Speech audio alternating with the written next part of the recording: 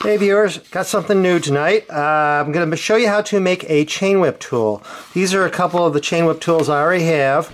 This is a Park Tool uh, SR2 and this is like a shop grade uh, chain whip uh, or SR stands for sprocket remover. And anyway, it's, it's, a pretty nice solid tool. Here's another uh, smaller one. I think this is made by Sunlite, but I'm not sure and this is a little less expensive. Anyway, I'm to show you how to make a chain whip pretty easily. First off, I bought a piece of flat bar here. This is steel.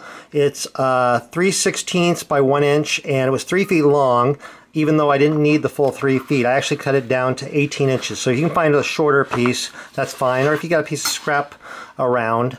Um, so anyway, that's what I got here is an 18 inch long by 1 inch wide by 3 16ths inch thick. The next thing I did was I drilled three holes into this uh, bar uh, using a 9 64 inch drill bit. I probably could have used a 1 8 inch drill bit if I could have found it, but um, these two holes here are just a hair over 2 inches apart. And then these two holes over here are about a half inch apart. And it doesn't need to be super precise and I want to make sure that they're just a little ways away from the edge of the bar. Using a uh, chunk of chain that I pulled off a bike, you know, that was just worn out, I cut off a couple sections of chain.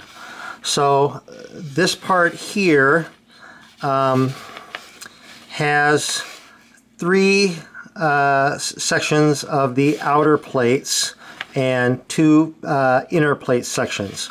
So there's uh, outer plates at both ends of that.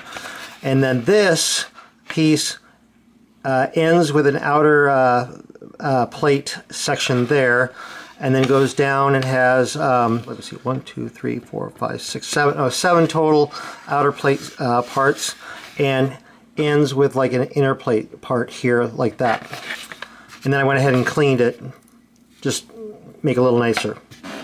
Now the next thing you're going to need is some small M3 by 0.5 millimeter screws and these are 10 millimeters long.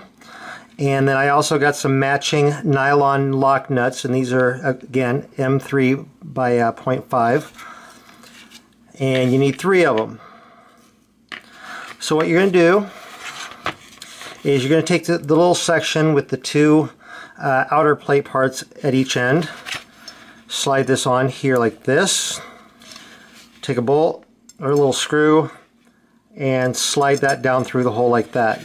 Take this part here, and these plates are going to be a little tight here to get on over this bar.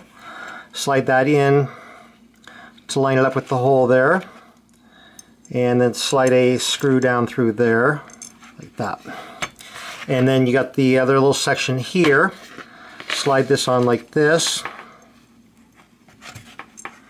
Line up with the hole there. And drop the screw in like that. Flip it over. And you're going to go ahead and put the lock nuts on. And there you go a uh, homemade uh, chain whip uh, sprocket remover tool.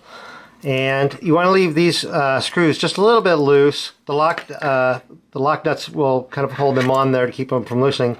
But go ahead and leave it so that these will pivot on there a little bit. Anyway, that's how you make one of these. You can wrap the handle with some tape or whatever you want to do. Anyway, I hope you found this uh, video useful or interesting. If you have, please click the like button. I always appreciate getting likes on my videos. And if you're not subscribed to my channel, please subscribe to my channel. Uh, click the big yellow subscribe button down here, and you'll see uh, future videos as they come out. Anyway, thank you for watching.